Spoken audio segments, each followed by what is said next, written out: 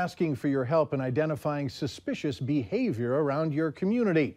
And the message is simple. If you see something, you're asked to say something and report the activity to police. Valley News Team's Joseph Ojo traveled to some neighborhoods today to find out what people consider suspicious activity. If you see it, call it in. Many of the people we spoke with today on what suspicious activity is say it's behaviors that appear to be out of the ordinary. Usually somebody that looks out of place or somebody that might be looking into car doors or in and around cars. I guess if you're you see certain activity or traffic in your neighborhood that you don't normally see, I guess that would be considered suspicious. And several people also said that when witnessing what may appear to be suspicious, it makes them question if they could be witnessing a crime. I mean, I use discretion about it, but I mean, if it's if I think it could result in a potentially dangerous situation, I would call it in. Yeah. When feelings of uncertainty arise, several people responded that they tend to shrug off what they see and carry on with their own business.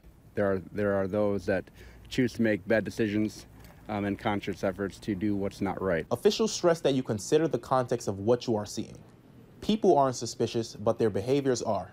Some of the behaviors officials say that may be associated with criminal activity and even look suspicious are a person knocking on your door and asking to speak with someone who does not live there, a pushy salesperson not showing identification upon your request or asking to come into your home, someone who may be taking a package from someone else's property, and an individual claiming to work for a utility company who is not in uniform.